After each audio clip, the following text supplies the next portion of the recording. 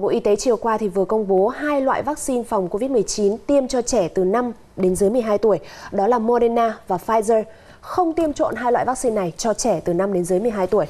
Chiều qua thì Bộ Y tế đã tổ chức hội nghị tập huấn tiêm vaccine phòng COVID-19 cho trẻ em trong lứa tuổi này.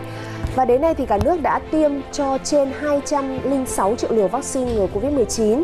Trong đó tỷ lệ tiêm mũi 1 với nhóm trên 18 tuổi là 100%, mũi 2 là 99%. Đối với trẻ từ 12 đến 17 tuổi thì hiện tỷ lệ tiêm mũi 1 và mũi 2 tương ứng là 99% và 94%.